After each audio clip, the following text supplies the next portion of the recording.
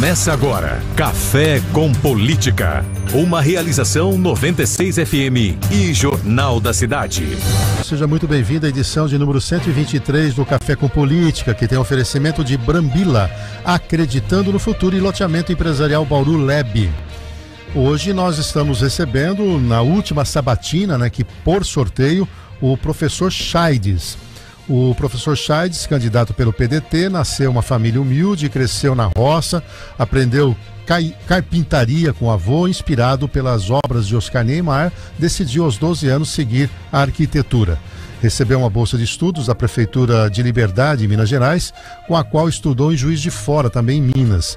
Formou-se em arquitetura e urbanismo pela USP, onde também fez mestrado e doutorado em planejamento urbano e regional. Em Bauru foi secretário de Planejamento entre 93 e 95 e inovou ao conquistar terras sem desapropriações para a construção de avenidas, parques e equipamentos públicos. Foi responsável pela ampliação dos distritos industriais 2 e 3, área do SESI Horto, além dos projetos de desfavelamento do Fortunato Rocha, Fortunato Rocha Lima, né? Vila Tecnológica, sistemas de creches, escolas e postos de saúde. Coordenou vários planos diretores pela Unesp e o programa de reconstrução de São Luís de Paraitinga, em São Paulo se especializou em, legislação urbanística que favorece todas as classes sociais. Seu desejo é planejar e construir uma cidade mais sustentável, humanizada, inclusive, inclusiva e emancipadora. Então, essa é a apresentação do Chaides aqui na bancada para acompanhar também a sabatina. Kleber Santos, bem-vindo, Kleber, assessor. Bom dia, bom dia, bom dia, Café, bom dia, amigos. Também João Jabu, bom dia, Jabu. Bom dia, Café, bom dia a toda a nossa grande audiência. E Ricardo Bizarra, bom dia, Bizarra. Bom dia, bom dia a todos. Chaides, bem-vindo mais uma vez, prazer em tê-lo aqui para nós encerrarmos essa série de sabatinas com os candidatos a prefeito. Bom dia, Café, bom dia, Bizarra, bom dia, Kleber, Jabu. É um prazer estar aqui para a gente falar das propostas e dos problemas e como que nós podemos resolver. Muito bem, a partir de agora a gente vai colocar o, relógio como regra pré-definida. Serão dois blocos de 20 minutos, né? Vamos fazer os primeiros 20 minutos, o um intervalo, depois o restante. Se houver aí uma compensação de tempo no primeiro bloco, a gente acrescenta ou diminui no bloco seguinte, mas o total será de 40 minutos. Chad, a gente sempre tem perguntado aqui de, de cara, já uma, até foi uma ideia aqui do, do, do Kleber, né? O Chaides pelo Chaides, né? O que, que você falaria do Chaides, além de tudo que a gente já relatou aqui na, na, na, na apresentação do seu currículo? Eu diria que é um Chaides humanista, um Chaides preocupado com as questões sociais, é, compreendendo que o nosso partido, o PDT, é um partido que tem muita clareza sobre o papel da gestão pública né, que é resolver os problemas da maioria da população que de fato precisa do poder público. Porque quem não precisa resolve as suas vidas, da educação, da saúde, do trabalho, né, do emprego. Agora, aqueles que, a maioria que precisa do poder público, é que acaba sofrendo por, muitas vezes, uma má gestão, uma gestão omissa, e esse é o papel fundamental. E por e de quebra nós temos que incentivar a geração de emprego, temos que incentivar os empresários naquilo que é, ajuda nisso, fazer as parcerias inteligentes que sejam capazes de alavancar isso. Muito bem, Kleber Santos. Charles, a gente sabe que desapropriação é um tema bastante espinhoso, né? E a gente viu aí que muitas vezes, até porque isso muitas vezes gera questionamentos em relação a valores pagos, muita polêmica. E durante seu tempo como secretário de planejamento aqui em Bauru, você adquiriu áreas para projetos urbanos sem recorrer à desapropriação. Como é que funcionou essa estratégia e hoje isso seria possível? Muito mais hoje, Kleber. Quando eu fui secretário de planejamento, eu era um jovem, 33 anos, e a legislação nossa não tinha o estatuto da cidade, era só a 6766 de 79 que ajudava nisso. E depois de 79 é, veio o Estatuto da Cidade, que é uma conquista técnica, política, social, e que em Bauru não tem nada praticamente implementado, né? Ficou atrasado. E até hoje, passaram de, de vamos falar depois do plano diretor de 2008, Rodrigo, Gazeta, agora Suelen, e não implementaram nada nesse sentido da gestão que eu chamo, o meu pós-doc, é, em gestão econômica de cidades. Como fazer cidades é, de uma forma inteligente, com parceria com iniciativa privada e com ganha, ganha, ganha, né, ganhando todo mundo, e sem ter esses ônus que Bauru é, tem uma trajetória. Eu estudei isso no meu doutorado na USP e depois da gestão. E a estratégia era simples, né? era você olhar, por exemplo, né, nos casos iniciais, Avenida Nações Norte, Mussa Tobias, Lúcio Luciano, a continuidade da Duque de Caxias, que passa ali pelo Relógio do Sol, que é um projeto meu. É, era olhar e falar assim, e pensar o seguinte, olha, se, se a iniciativa privada, se os donos de terra, que vão ficar com a sobra da terra, vai valorizar muito mais né, por que não contribuir com a, com a doação da terra? Naquele caso era doação, era uma doação com, com, compromissada do poder público fazer calçada, fazer avenida, é, às vezes até o, o cercamento do lote para as pessoas. E isso foi uma estratégia que deu muito certo. Né? Então foram cerca de 400 mil metros quadrados de terras é, que não valiam quase nada e que foram compreendidas dessa forma e que gerou a possibilidade depois da Nações Norte, da Mussa Tobias, que estrategicamente são duas vias importantes na cidade. E outros caminhos. Agora, depois de, do Estatuto da Cidade, é, eu tenho insistentemente trabalhado com planos diretores, alguns muito inovadores, né, de São Luís do Paraitinga mesmo. Lençóis Paulista, em 2005 fui eu que coordenei o plano de lençóis, que ainda hoje é, estimula a iniciativa privada. Lençóis não está tendo grandes problemas desse, de insegurança jurídica, as coisas assim, porque tem um plano bem feito. Não porque eu fiz, é porque a gente usou uma estratégia de usar esses instrumentos. E, é, e hoje você tem é, uma série de outros. Vou dar aqui exemplos. Se a gente pegar em 97, a gente teve desapropriações feitas pelo ISO, que gerou aqueles, aqueles traumas todos que acabou gerando a, a, a, a cassação dele posteriormente, não exatamente por isso, mas aquilo puxou cheques e desapropriações de áreas que eram para ruas, para áreas verdes, áreas institucionais, que na verdade deveriam ser doadas para o poder público do loteamento e que ele desapropria. Quer dizer, é o, é o avesso do papel do poder público. O Parque da Água Comprida, que tem 23 minas, foi desapropriada por ele. Né? Aí, olha o histórico. Isso, isso, se a gente colocar nos valores de hoje, dá em torno de 30 milhões de reais que foram jogados no lixo que não precisava. Se você pegar no, no governo do Rodrigo, a tal da floresta urbana, se você pegar o artigo 67 do, do nosso plano diretor, tá lá um outro instrumento aí do Estatuto da Cidade já, transferência do direito de construir. Se tivesse sido regulamentado por ele, depois pelo Gazeta e agora pela Suelen, é, nós teríamos evitado mais 30 milhões de de desperdício do dinheiro público. Se ele tivesse um pouquinho mais de gestão com outros instrumentos, não precisaria ter feito a, a desapropriações dos 16 prédios é, de forma milionária com recurso da educação. Poderia ter aplicado isso é, numa, numa, na estação da Nobre, restaurado, e ainda incentivado a iniciativa privada naquela região do centro a investir é, de uma forma inteligente para revitalizar o centro. Então nós temos assim cerca de 15 instrumentos de gestão é, vamos chamar assim, de conquista de terras não onerosas. Porque quando a gente fala de desapropriação, é um, é um instrumento específico da legislação urbanística. Né? Então a gente chama tudo de desapropriação. Mas na verdade você tem uma série de outras. Transferência do direito de construir, você tem consórcio imobiliário, você tem. Aí não vou entrar nesses detalhes técnicos para não cansar vocês. Muito bem. João Jabu, bom, estamos aqui sabatinando José Chaides, do PDT, né, candidato a prefeito. A pergunta agora do jornalista João Jabur.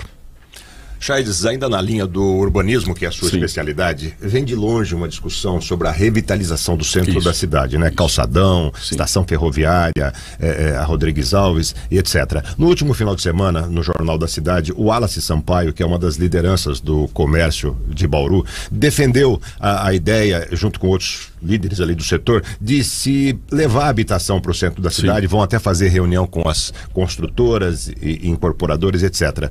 E eu gostaria de saber a sua opinião sobre isso, né? E, e, que você incluísse nisso algo que não tem se falado muito nessa campanha, que é a, a, aquela extensa, enorme, quilométrica é, faixa de, de, trilhos ferroviários Exato. que corta a cidade ao meio e que é hoje um estorvo, porque aquilo não serve para nada atualmente, né? Então, como é que você vê essa situação? O que é que você pretende fazer? Café Só alguma... quero complementar, porque nós, eh, enquanto o Cássio Carvalho era presidente da Associação Comercial, nós encomendamos para a Unesp, à época, um estudo e também essa questão do assentamento humano apareceu muito fortemente. Então é um, é um, é um, projeto. E não está no plano do governo da atual mandatária e ela fala da transferência da prefeitura lá para a estação ferroviária. Surgiu não sei da onde, é. mas não está no plano de governo, né? Então, para complementar isso, se seria viável, né? A prefeitura. É, o, do ponto de vista político, é, todos esses candidatos é, foram omissos.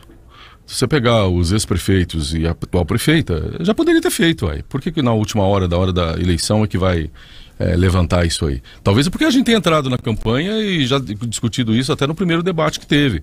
E aí as pessoas saem contratando de última hora plano diretor, de uma forma milionária, que não precisaria fazer, né? Se fosse de uma forma inteligente. Os outros, o, os outros candidatos, mesmo os vereadores. Eu quero aqui falar da vereadora Chiara, quero falar do vereador é, Dr. Raul, é, do Gazeta, que foi prefeito e tal, que o Rodrigo. Essas, todas essas pessoas estão comprometidas com isso, porque não fizeram o papel. O, no legislativo poderiam ter regulamentado esses instrumentos e ter feito. Eu me lembro que, vocês sabem, vocês ainda da, conhecem muito melhor até do que eu, a classe empresarial de Bauru. Se nós temos o WAVE, o, o, Estudo de Impacto de Vizinhança, que é um daqueles instrumentos da, do Estatuto da Cidade, é, foi porque quando, quando presidente do conselho do município, não sei se vocês lembram, é, junto com, na época, o Roque Ferreira. Nós é que fizemos o projeto da, da legislação. Por que, que os outros vereadores, por que, que a Chiara não fez? Por que, que o doutor Raul não fez? Por que, que o. Quem mais aí que foi vereador que está nessa, nessa parada? Né? E os prefeitos. Então, assim, é muito oportunista de última hora, agora vim apresentando uma coisa como se fosse novidade. E não é novidade. Nós estamos falando desde o plano diretor que já previa tudo isso de 2008. Mas, assim, vindo à questão é, específica, em todos os lugares do mundo que revitalizou de verdade centros, é colocando população. Né, existe um conceito de urbanismo que é de uma jornalista, Jan Jacobs, que fala o seguinte: é o olhar do cidadão que cuida melhor do, do ambiente. Se você, se você tira o cidadão, o morador desse lugar, você cria o abandono. Né, e os problemas todos os outros. Então nós temos que levar gente para o centro, de todas as formas, especialmente moradia, é, mas isso, logicamente, hoje a gente defende usos mistos, né? nós queremos revitalizar aqueles prédios todos e aí, é, nós te, temos uma estratégia para isso, porque existe uma série de instrumentos de incentivos. Né? Por que não baixar o IPTU daquela região? Né? Por que não baixar o, o ITBI? O ISS agora, com a nova legislação, tem algumas eh, diferenças, né? Com esses novos nomes aí. Mas, a... por que não o WAVE?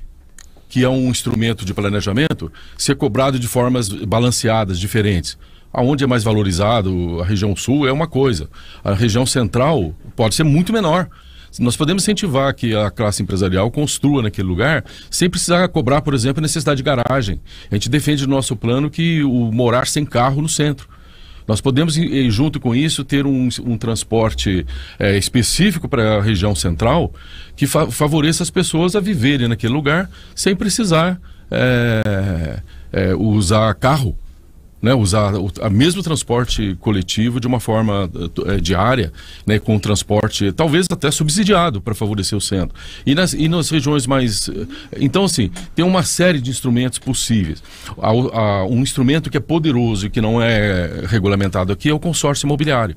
O consórcio imobiliário é tão rico e eu, eu não entendo como a classe política tradicional não tem enxergado ainda, e por mais que a gente fale.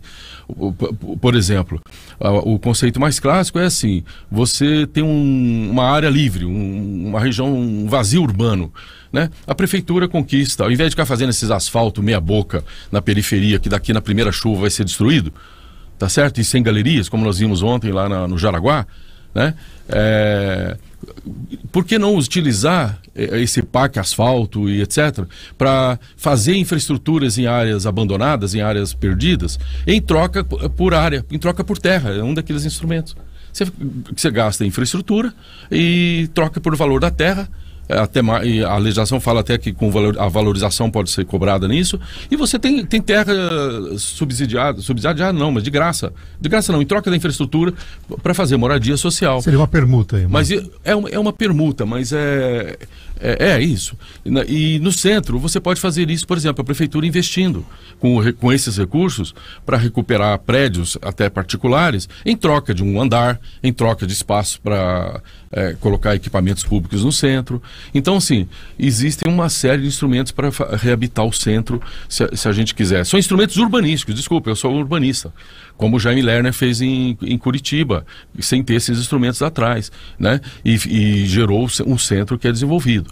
Então, é, nós podemos, como urbanistas, avançar muito nesse sentido. E, e, e desculpem, é, é, o médico oculista cuida dos olhos, o jornalista cuida das coisas. Eu tenho uma especialização que é essa área. Eu estou reivindicando o direito de dizer que eu posso fazer melhor do que todas essas pessoas nesse caso. Ricardo Bizarro. O senhor falou no médico oculista, então vamos falar um pouquinho é, da saúde do município. Eu estou aqui com o site aberto do portal da transparência da prefeitura na relação de pacientes que aguardam vagas de internação. Nesse momento, nós temos 63 pessoas aguardando internação, sendo que uma pessoa já aguarda há mais de oito dias.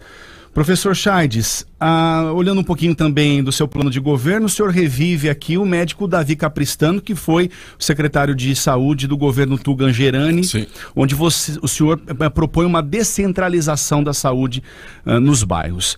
Então nós temos esse problema da, dos pacientes que aguardam a internação, nós temos agora as unidades de pronto atendimento, que são chefiadas por organizações sociais, e a gente percebe as filas, a demora no atendimento, a gente percebe que não há um atendimento adequado e digno digno para as crianças e para os idosos. Como a gente resolver essa situação e a cidade cresce? O problema é complexo, não é um problema de uma ponta só. Mas ah, nessas emergências eu entendo que está tendo é, uma omissão da, da atual gestão e, e atreladas anteriores. É, ter um hospital municipal não passa pela nossa agenda local agora. Primeiro porque custa muito. Nós tivemos agora conversando com o, o Dr. Sebastião da USP e do, e do HC aqui, e ele mostra isso, ele fala, olha, não tem, não tem condição de nós, é, a prefeitura, é, é, custear tudo que representa um, um hospital para essa ponta. Mas nós temos o, o HC. Nós temos o HC com com leito sobrando. É uma questão de estratégia, de negociação política com o governo do Estado, né, para ocupar as vagas que estão é, necessitando. Temos tendo apoio do Dr. Pedro Tobias. O Dr. Pedro Tobias está nos apoiando nessa campanha. E eu faço aqui questão porque ele autorizou a gente falar de, de, de tudo isso, não faria isso de outra forma. E ele tem, ele tem dito a mesma coisa. São especialistas nessa área que está dizendo isso para nós e nós estamos ouvindo as pessoas, nós somos de ouvir, de participar ainda mais numa área tão problemática e na ponta. Mas nós temos um problema problema grave, né? Porque se a gente pegar a proposta mesmo do Dr. Raul, você percebe que é uma visão só na ponta, é na ponta da doença instalada. É uma ponta depois que a doença já, já aconteceu e que a pessoa precisa da, de recorrer à emergência. Só que nós temos uma visão de saúde pública e coletiva, aí sim a menção ao Davi a, e ao Tuga, né, que são do, foram do nosso partido e avançou muito nisso, que é o seguinte, eu quero mostrar para vocês, eu estou visitando os vários bairros carentes nesses dias e é, e é um absurdo você encontrar uma pessoa, um pai de uma família humilde, onde os dois filhos são idosos, e o pai é, é, precisa de ter banho, né, e a família precisa ajudar, e é uma senhora que tem que ajudar, que a filha já tem 70 e poucos anos, não consegue pegar essa pessoa e levar para um banho, e a pessoa está lá e você pergunta, escuta, essa pessoa foi visitada quantas vezes no último mês por um, pelo PSF ou pelo EMAD? Pra, nenhuma. Programa de Saúde da Família. Nenhuma. Aí você vai lá no Jaraguá, aí você encontra um cadeirante, né, na rua, você pergunta para a pessoa se tal. Aí você vai aqui no Jardim Europa, na favela do Jardim Europa, que está a 100 metros do, da UBS da, do Jardim Europa. Você encontra uma família que tem um, um cadeirante, uma pessoa que teve AVC, os dois eh, lá e uma família já idosa. Aí você pergunta também, escuta, quantas vezes veio? Não veio. Então nós temos que olhar, a, a, nós temos uma concepção, e eu tenho uma família que eu tenho uma, uma, uma esposa que trabalha com medicina integrativa, é, com todos, tudo que vocês possam imaginar de acupuntura, é, ozonoterapia e tudo mais, e uma, uma, uma nora que trabalha. E ela fala a mesma coisa, ela fala, o grande problema das filas muitas vezes não é a ponta desse problema aí. É a questão que a pessoa não está tendo um atendimento lá na, pelo EMAD para cuidar dos idosos e tal. Nós temos uma cidade que tem apenas 100, é, cerca de 100 agentes de saúde, quando Marília, que tá, tem cerca de 400. E nós poderíamos ter quase mil. E essa busca ativa de olhar na casa das pessoas que para não precisar ir para a UBS ou para UBA nessas horas é o que nós queremos trabalhar. E na ponta desse problema de saúde, você falou das crianças. Nós temos um projeto. Aliás, nós vamos homenagear o Pelé. Né? Esse atleta que nunca foi homenageado devidamente aqui, como um gênio, não estou entrando em particularidades, como qualquer gênio teve problemas na vida, mas sempre foi homenageado no mundo. E, nós, e esse cara nasceu para o esporte aqui em Bauru. Né? Ele é de Três Corações, nasceu lá, mas aqui nasceu para o esporte. E nós estamos criando esse projeto Pelé, que é o seguinte: nós queremos integrar o orçamento municipal da educação, que tem sido mal utilizado, né? Tem, nós temos perdido muito dinheiro da educação em fazer porcaria que não devia, e nós queremos fazer esse dinheiro junto com a educação. E nós temos a Ana Maria Daibem, que é uma especialista nessa área, junto conosco. Nós temos a honra de ter essa pessoa na, na, nessa área. Uh, trabalhar integrado educação, saúde, esporte, lazer, para fazermos o quê com esse projeto Pelé? Pegar essas crianças que estão abandonadas na própria sorte, nas vilas e, na, e nas favelas, dar esporte, arte, eh, dança, música, o que for necessário para essas, essas pessoas e junto com a família. E, e, junto com a família desenvolver um programa que nós vamos contratar é, professores de educação física, nós temos escolas de educação física aqui, monitores, para a gente promover saúde coletiva lá nos bairros, na ponta do problema, e junto com ele uma educação integral da nossa escola que o nosso partido, o Partido da Educação, defende, para poder a, atuar de uma maneira, uma abordagem totalmente diferente do que vem sendo feito nesse sentido.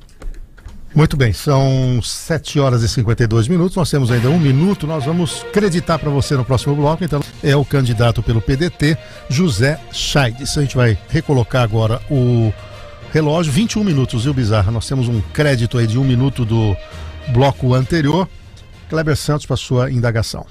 Charles, Bauru é uma cidade que já tem congestionamentos em ruas e avenidas em determinados horários do dia.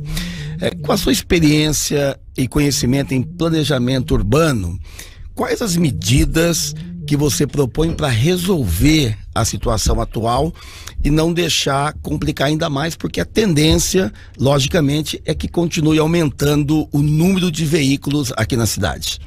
Olha, é, nós temos, desde quando eu fui secretário, e ainda não está totalmente implantado, longe disso, uma proposta que a gente chama de multianéis viários, tá? Diferentemente de... Ela inclui fazer obras de viárias, mas especialmente de interligação interbairros, tá? melhorando binários, sabe? Você pegando vias, você, você, encontra situações muito particulares. Você pegar, por exemplo, a Comendador com Castelo Branco, já melhorou bastante, mas você pode, você pode é, integrar esses sistemas. Se você pegar a Nossa Senhora de Fátima, por exemplo, que hoje é uma avenida que é, sobrecarrega um trânsito pesado na, na região, é, na, na borda da linha, é, dá para você fazer uma via que já está praticamente pronta. Né? Se você pegar ali onde hoje é a, é a Receita Federal, você tem é, a possibilidade de integrar com os világios. Né, de uma forma e, e, e, dividir esse trânsito que está acontecendo ali. Então são medidas de você articular melhor a cidade e dar é, rotas alternativas é, para as pessoas de uma maneira, vamos dizer assim, fluida e não concentrada nessas, nessas grandes avenidas. Jabur?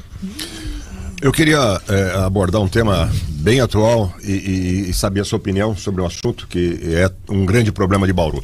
A manchete de hoje do, do Jornal da Cidade, para quem está na internet, está aqui o jornal, Botucatu constrói represa e garante a segurança hídrica. É, isso não foi uma, um tapa com luva de pelica, foi acho que um murro no estômago da classe política bauruense, né? Que se debate em relação a esse problema há muitos anos e não consegue soluções.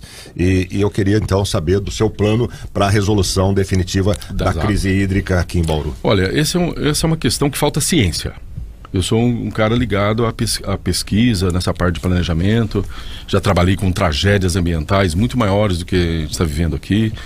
E é uma questão de ciência. E, e é curioso, porque nós, estamos hoje, nós temos hoje em Bauru é, quatro universidades brasileiras estudando a questão das águas, o projeto SAC, não sei se vocês estão acompanhando, e eu estou acompanhando e participando indiretamente desse processo, mas universidades internacionais, por uma coisa sui, sui generis aqui de Bauru, que Bauru foi deserto.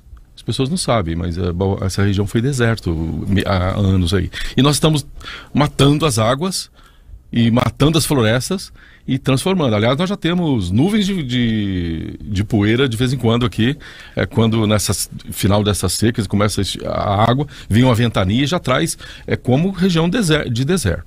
Então, a questão é, é científica. O que, que esse projeto tem dito? Que o Batalha ele é uma água sazonal. E ele vai piorar com essas questões das emergências climáticas. Né? E, e precisa de um planejamento nas cabeceiras dele é, regional para pensar a cultura agrícola, pensar se o, eucalipto que está tomando a região vale ou a cana e etc. E porque isso está matando a produção de água do Batalha. E nessas, nessas, nesses momentos de seca, ele vai ser sempre problema. Então a solução definitiva não será pelo Batalha. Por mais que alguns achem que seja, não será. E aonde que nós temos a, a solução definitiva? É o aquífero Guarani. Só que o que, o que nós temos de problema? A, a quantidade de poços próximas uma das outras nas regiões, curiosamente, e, é, e não é coincidência, não vou ficar aqui entrando em detalhes técnicos, mas a região que está faltando água é exatamente a região que você não tem, que você tem o, a, a camada que é uma manta do solo, a, a rocha aonde eh, flui o aquífero é, Guarani, é, ela é baixinha, ela é curta. Mas a região norte da cidade, né, na região da Bauru Marília e dali para frente até e, daí vai para a extensão toda do estado praticamente. Você é, tem muita água. Então, na verdade, a questão é, é científica. Você é você dosar a, a furação de poços com distâncias é, corretas cientificamente, com as profundidades corretas de onde tem produção de água. Tá? E, é, e é simples assim mesmo. Tá? E é, é, nesse caminho científico que nós vamos investir. E não nessas, nessas é, vamos dizer assim. E aí, eu, eu, tenho que dizer politicamente: passaram aqui dois prefeitos ambientalistas que não deram tanta atenção assim a esses problemas. O Gazeta, que é candidato, não resolveu o problema, pelo contrário, aliás, estendeu problemas da cabeceira do Rio Bauru. É um, é um ambientalista que está ajudando a matar o Rio Bauru, porque o Rio Bauru está indo para o mesmo caminho do Rio Batalha. E nada contra os os condomínios e tal, mas nós podemos fazer de uma forma diferente a, a, as parcerias com a produção e a construção civil nessa área, sem matar o Rio Bauru. O Chaides, é, existe um gargalo aí do ponto de vista do investimento. Eu tenho insistido nesse ponto em todas as sabatinas, que é o futuro da Fomprev. A Fomprev vem retirando 6 a 7 milhões de reais por mês do principal se a prefeitura não aportar uns 280 Sim. milhões nos próximos quatro anos, não vai estabelecer. E você tem uma série de investimentos a ser feito. Qual que é teu olhar sobre o futuro da Previdência no tocante da manutenção da sua viabilidade ao longo do tempo? Café, eu comecei dizendo que o nosso partido ele defende a, a capacidade da gestão pública para a maioria das pessoas que depende do poder público. Isso significa a gente dizer que a gente precisa, a cada quadro que aposenta da, da prefeitura, nós precisamos substituí-lo e ampliá-lo, porque no final de contas a cidade está crescendo. Né? Não, não tem jeito. Essa é uma equação que não tem jeito. Não vai ser resolvida, desculpa, não vai ser resolvida por é, terceirizações. Tá? Pelo contrário, cada terceirização que se faz, é, você está deixando de subsidiar a capacidade da aposentadoria de quem, de quem precisa dela depois. Então, essa defasagem, cada, uh, os quadros, por exemplo, do DAI estão defasados. Os quadros técnicos estão defasados. Os quadros da CEPLAN estão defasados. Da educação está defasada. Então precisamos de professores. Na área da saúde, eu acabei de dizer que está. Então, ou a gente busca esse reequilíbrio a partir da, da, da, contratação de pessoas de quadros próprios que dê conta dos serviços públicos que precisa, ou também a FUNPREV vai, vai ter sempre um problema. Mas aí você vai trabalhar no limite da lei de responsabilidade fiscal. Claro, tem lógico, os dois pesos, né? lógico, né? Você tem de um lado lógico. contratações, obviamente quando você contrata você gasta um pouco Sim, mais e sim. diminui também a capacidade de investimento. Sim. Então tem que ponderar essa Claro, conta aí, né? mas hoje nós temos aí o- cerca de um, um colchão, que não é grande, mas nós estamos, nós estamos 40. falando. Nós estamos falando aí de a- a- a- em torno de 8%, né? De 44 a É, 52. 54 é o limite, o Isso, prudencial exatamente. 58 está na casa de 43. E hoje está na casa de 43. É a relação, só para ficar claro para a nossa audiência, a relação da folha de salário sobre a Exatamente. receita líquida do Então município. você vê, é, nós temos aí uma- um colchão. Claro que não dá para fazer tudo isso de uma vez só. Nós queremos fazer isso de forma gradativa, de forma equilibrada, porque ninguém é louco de sair fazendo muito menos contra a responsabilidade fiscal, certo? Kleber? O, o Charles, na, na área de desenvolvimento econômico e combate ao desemprego, eu tenho visto alguns candidatos eh, defendendo mini distritos industriais, que segundo eles algumas vantagens eh, são a necessidade, a, a, a não necessidade de grandes áreas e também evitariam deslocamentos do, do porque o emprego ficaria no bairro perto da casa do funcionário. Na sua visão, essa é realmente uma boa alternativa para a prefeitura apoiar e estimular? Eu concordo em parte com isso, porque dentro de um conceito urbanístico hoje, quanto mais você tiver eh, o emprego próximo do trabalho e dentre eles áreas de lazer, cultura, esporte, tudo, você favorece o dia a dia da qualidade de vida das pessoas. Tá? Então é uma abordagem. Mas nós temos uma estratégia maior, urbanisticamente falando, eh, que é o seguinte: nós queremos aproveitar esse eixo ferroviário eh, que está abandonado aqui em Bauru tá certo? É, se a gente pegar esse Y, eu falo que é um, um, um Y da ferrovia, que é um colar de diamantes que nós temos dentro da cidade, que está abandonado, literalmente. A quantidade de áreas que nós temos vazias, pegar o triagem, pegar aqui na parte baixa do Jardim Europa mesmo, se você pegar ao longo da, do córrego da grama. Agora, quantas edificações abandonadas nós temos aí? Gente, nós temos um, um prédio que, se você olhar no- pelo Google, a hora que você vai baixando, é o primeiro prédio que aparece pelo tamanho dele, que é o antigo IBC, que tem cerca de 50 mil metros quadrados de área construída, que está sendo deteriorada. Quanto, quantas empresas nós não poderíamos estimular a ir para esse lugar? Eu falo que é um AMB de Bauru. Nós poderíamos ter um grande centro de eventos, de incubadoras de, de, de diversos tipos de iniciativas, de economia criativa. Tem, tem pra um fora. inventário disso? Você tem, Tem, conhece- tem, um inventário. E, e- e se você pega o- a antiga CEAGESP, se você pega é, os antigos galpões que eram as escolas da rede, se você pega a rotunda, é, sabe? E, e- e aí com uma, uma coisa inteligente no seguinte sentido: se você concentrar empregos, não só o- a- nessa área produtiva, como Boracé fez. Boracé, ao invés de ficar cedendo só lote para empresas, e eu ajudei, eu participei 12 anos da, da, da história de Boracéia. Eu que ajudei a levar o Senai para lá, as pessoas não sabem que fiz o projeto da escola do Senai para lá, ajudando os prefeitos. O que, que eles começaram a oferecer? Oferecer o galpão para as empresas. Olha, se a gente faz uma estratégia junto com o, o- a iniciativa privada, junto com o governo federal, e traz esse- pega esses equipamentos, busca recursos, aí você concentra do, do lado disso é, é moradia social, é, é, parques, áreas de lazer, áreas de esporte, você tem um eixo inteirinho dentro da cidade, requalificado de uma forma é, urbanisticamente correta, é, que você qualifica todo mundo. Você qualifica a cidade inteira. Então, por exemplo, esses eixos. Pega a própria Nações Unidas. Né? Ah, é subutilizada. Se você comparar com Curitiba, por exemplo, de, desde o Horto. Perdão, desde o Zoológico até Bauru Marília, é uma avenida com a maior infraestrutura e talvez a gente tenha que colocar, e vamos ter que colocar a questão da drenagem e resolver, e a gente tem uma estratégia para isso, mas é, é, que vai valorizar ainda mais a avenida. Então nós temos que oferecer isso para o mercado, e com contrapartidas, etc. E você pegar na ponta lá da Bauru Marília, tem áreas suficientes que poderiam ser tratadas no plano diretor com, com essa abordagem.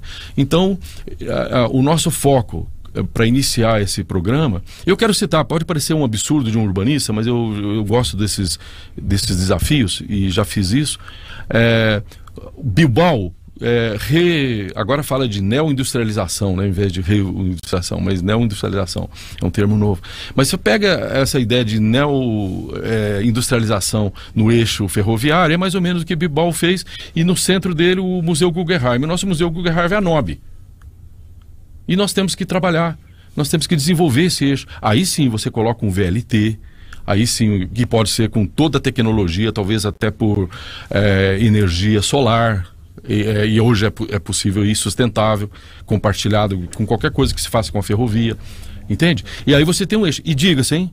As pessoas não estão dizendo, mas a prefeita atual, a prefeita Sueli, perdeu é, a oportunidade esse ano passado de ter encaminhado um projeto para criar o VLT dentro de Bauru.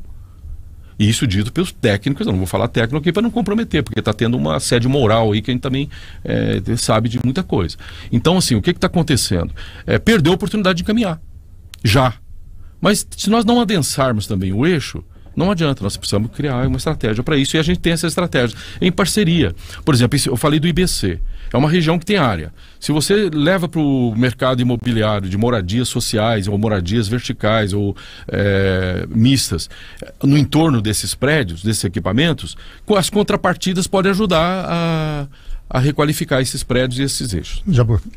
Um tema importante também, Chades, é, você falou na sabatina da Senag que Sim. a aprovação daquele projeto que autoriza a concessão de esgoto à iniciativa privada, Sim. que por sinal começou com as audiências públicas nessa Sim, semana. Um fiasco ontem. Chamou de criminosa, é. A audiência foi fraca, né? É e, e, virtual online, também não é dá para entender. Uma hora para acertar o som, um absurdo. Por que não presencial, né? Exatamente. Fica a pergunta no ar aí para alguém responder. Mas você chamou essa iniciativa dessa aprovação de criminosa. Então eu queria saber, você vai cancelar isso? Porque me parece que todos os candidatos que não seja a prefeita propõem que se propõe a cancelar. Então está em julgamento nessa eleição a, a, estação de tratamento de esgoto ou tratamento de esgoto privatizado ou não. e, e no seu caso, qual seria a solução? Ali tem várias questões que eu chamo assim, que vai, vai é um assinte contra o bolso do, do consumidor de água, tá? Em todos os sentidos, e do esgoto. Então, nós, eu fui o primeiro candidato que bateu de verdade de frente, porque mesmo naquela discussão da concessão, o, mesmo os candidatos hoje, a Chiara, é, Raul, é, o Gazeta, esses caras sumiram, desapareceram um pouco desse cenário. Discutiu por outras razões. Agora, nós, o, o que, que a gente pensa tecnicamente? Pô, se nós temos recursos suficientes para resolver o problema da estação, qual que é o problema técnico que está pegando lá que não se fez essa, essa estação de esgoto? Aonde que está a incapacidade técnica é, dos órgãos que, que constroem. No debate da Senag, eu perguntei lá para todos os técnicos, eu sou um técnico. Falei, escuta, o que, que aconteceu que. Eu participei de um governo que nós fizemos três escolas em 60 dias.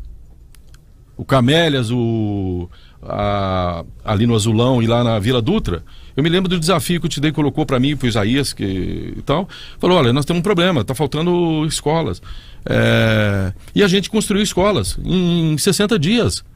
Nós fizemos o distrito, o distrito 3, ampliamos lá. Aí você olha hoje, as pessoas não conseguem terminar uma obrinha como a, a primeira quadra da, lá do calçadão, uma reforma que aliás está mal feito e está pior do que os outros, se você olhar tecnicamente. Então, assim, o problema é de, geren é de gerenciamento e de competência até que entender o que, que, que rolou nesse projeto aí que travou esse negócio. E eu acho que não é coisa boa, não. E aí eu acho que está comprometido os ambientalistas. Eu chamo de máscara verde. O cara que você tira a máscara verde é outra coisa, tá certo? Então, assim, o... eu estou falando, literalmente, estou falando do Rodrigo, estou falando do Gazeta e e, essa prefeita que está levando para um outro rumo. Ela tem uh, os conceitos dela sobre gestão do Estado e tal, e eu acho que talvez seja é, por aí. Mas nós não concordamos. Né? E tem dinheiro, então nós temos que fazer bem. Agora, tem uma injustiça muito grande embutida aí. Eu quero falar dela, nós estamos falando para as pessoas, que é colocar também a drenagem das nações é, enfiada nesse, nesse pacote. Por que, que eu falo que é injustiça? Porque ela é localizada. O problema da drenagem das nações é localizada naquele eixo, naquela, naquele pedaço da cidade. Não tem sentido você cobrar eh, esse custo do, da pessoa lá da Vila Dutra, lá do Jaraguá, lá da Nova Esperança. E por 30 anos. E por 30, 40 anos. Não, e pior, ele vai ele, ele embute o valor no preço da água e ele não termina. Porque, e é uma obra terminável, ela deveria ter um custo eventualmente, é, mas a hora que termina a obra deveria parar de cobrar. Diferente da Diferente de esgoto, da, que, é permanente. De esgoto que é permanente. Olha a injustiça que está colocada de, dentro disso. Pior, é, como esse custo vai incidir no, no preço da água, é, tecnicamente, quem mais vai sofrer com isso vão ser bares, lanchonetes, restaurantes, clínicas médicas, clínicas veterinárias, cabeleireiros e etc., que é o, que, o maior gastador de água. Agora, é, e, e às vezes num espaço de 200, 250 metros quadrados, que não joga água na drenagem. Ele não é o maior impactador da drenagem, é um, é um pequeno impactador que vai ser o, o, a pessoa que mais vai ser onera e é que gera emprego, é que gera trabalho, que vai ter que jogar o, no preço da. O que você está colocando pessoas. é que se fosse resolver o problema da drenagem da cidade toda, era uma Exato, outra uma outra consequência. Tá e, e, aí me permita ainda, apesar de ser técnico demais o negócio, mas assim, é, agora, vamos pensar. A Via Rondon que joga água substancialmente na drenagem nesses dias de chuva, vai pagar quanto? Nada. Os grandes estacionamentos é, de shoppings, que é um dos maiores impactadores nessa cabeceira, quanto que vai pagar por essa área, o tamanho de estacionamentos que está jogando água porque impermeabilizou? Praticamente nada.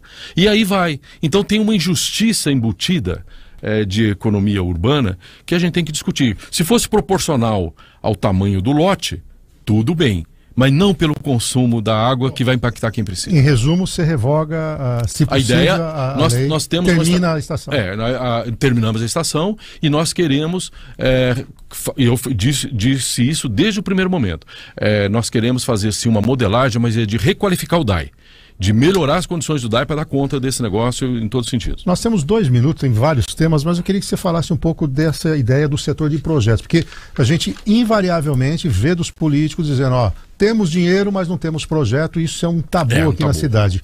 Dois minutos para você responder, Thaís. não, na verdade a gente tem que reequipar essas equipes, essas equipes técnicas, tá?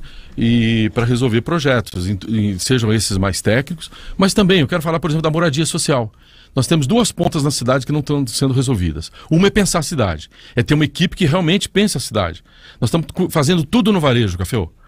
Todas as ações desses três governos, quatro governos que passaram, os falsos ambientalistas e, os, e, a, e da Suélia, é atacar no varejo. Nós não temos um conceito de cidade que nós queremos, e nós queremos, como urbanista, é, recuperar esse sentido lá na ponta. Então nós temos que ter o Instituto de Planejamento, temos que ter uma equipe técnica enxuta, com parceria das universidades que têm competência que não estão sendo utilizadas também. E na outra ponta, nós temos que ajudar as pessoas de baixa renda a resolver os seus problemas de regularização fundiária, de moradia social, de infraestrutura, de, de equipamento públicos, porque é quem mais está tá precisando. E eu sei que junto com a Ana Daibem, que é uma competência é, na, nessa área da educação, nós queremos resolver essa ponta é, também da, da, da, educação integral que o nosso partido defende, com cinco refeições diárias, e que na ponta disso tem um projeto Pelé que ajude essas crianças a saírem e, ter, e não sofrerem os riscos da marginalidade que está acontecendo em todos os bairros. Né? E não sei se eu vou ter mais um minuto para agradecer, eu estou aqui, mas. Não, o é, agradecimento é, é pós-horário. Ah, então tá. Desculpa. Então, tá. então aproveita agora esse, ah, esse restinho de programa, né? Né, alguns minutos, para você falar um pouco da chapa, dos vereadores, ah, também do número. Bom. Antigamente, 12 era Tuga, é, agora é Scheid. Agora é Scheid. E, e, uma homenagem ao Tuga, que realmente a cidade deve muito a um conceito de saúde, de, é, é, de distribuição do serviço por todos os bairros. Né? A última gestão dele, uma gestão muito responsável, que deixou dinheiro para o prefeito que assumiu, o Rodrigo, que depois também não serviu para muita coisa. Mas enfim, é, então é, uma homenagem a ele, especialmente. A Ana, que foi secretária dele de Educação, que tem um projeto político-pedagógico que nós queremos recuperar para a cidade. Tinha um projeto, ela deixou um projeto é, pronto de restauro, de restauro da estação da NOB para a Secretaria de Educação, por, por onde saiu o dinheiro para a compra é, do prédio e uma parte para a saúde. Mas nós queremos é, discutir aquela região pensando o seguinte: é, é, conversar com a classe empresarial, com o centro da cidade, pra, o, qual que é o ideal? Quanto mais pessoas utilizar aqueles prédios, é, é o programa ideal que nós queremos discutir. Porque é ele que vai revitalizar Bom, a região. O, quem for votar no Chades, digita digita 12 e nos candidatos do, do PDT que começam sempre com 12, né? É, 12 é Chaides, era Tuga, agora é Chaides, e, e nosso partido, o PDT, tem uma história linda, uma história ligada a a industrialização do Brasil, vocês sabem, desde Getúlio Vargas, né, se a indústria nacional é o que é hoje, é pensado ele que criou essas bases, também para o trabalho, para o emprego, para é, tudo isso. Nós temos uma história com Darcy Ribeiro, com Brizola, nós temos uma história em Curitiba com, é, com o Jaime Lerner, que revolucionou aquele momento lá e que nós queremos recuperar parte disso. O Instituto de Planejamento é baseado no de lá E aqui o Tugan, o Tugan. Então nós temos a melhor história política que a gente poderia conceitualmente para fazer. Eu peço o voto de todos que estão nos ouvindo, ao 12, ao Chais. E aproveito para pedir o voto de vocês também. Tá, tá certo? Por favor. tá bom, entrevistamos aqui então José Chades. É, boa sorte nessa arrancada final aí, nessa reta final. Obrigado, Deus abençoe a todo mundo. Muito bem. Nossa. Bom, lembrando que com o Chades nós encerramos a série de sabatinas, né? Na próxima sexta-feira vai ser só nossa equipe avaliar tudo isso, falar um pouco da nossa cobertura no domingo, né? O Jabur, junto com a direção aqui da 96, está fazendo aí toda a arquitetura para a grande cobertura no domingo que vem, dia da eleição. Lembrando que na quarta-feira nós temos a última sabatina do candidato a vice, né? São 25 minutos dentro do Cidade 360. Nós vamos receber a Graziela Galvão, que é vice candidata a vice-prefeita na chapa do Raul. Kleber, obrigado pela participação. Até sexta que vem para a gente avaliar tudo e já projetar o que pode acontecer nas eleições. Quem sabe com alguma pesquisa aí para a gente poder fazer uma avaliação. É isso mesmo, Café. Um grande abraço, um abraço a todo mundo que nos acompanha nessa manhã. Jabu, muito trabalho pela frente aí. Semana que promete.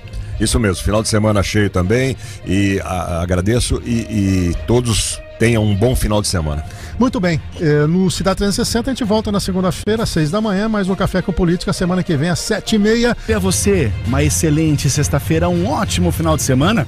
A gente tem um encontro marcado novamente na segunda-feira, às seis horas da manhã, com mais uma edição do Cidade 360. Até lá, tchau, tchau. Você ouviu Café com Política. Sua dose semanal de informação e opiniões aqui na 96 FM e nas multiplataformas do Jornal da Cidade.